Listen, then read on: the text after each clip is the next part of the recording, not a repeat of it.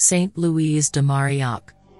Saint Louise was born to an aristocratic widow in France. After her father died at 12, she lived with a religious spinster and did housework and herbal cures. At 26 years, and on her family's advice, she married the secretary to Queen Marie. She was dedicated mother and assisted the poor. Louise's husband became sick and died after four years of marriage. She desired spiritual life.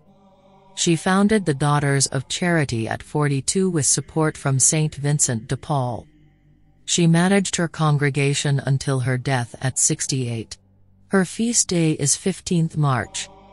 Her patronages include widows, social workers and the Vincentian Service Corps. Let's pray. Pray with us for the unwanted, marginalized and orphaned children throughout the world. Amen.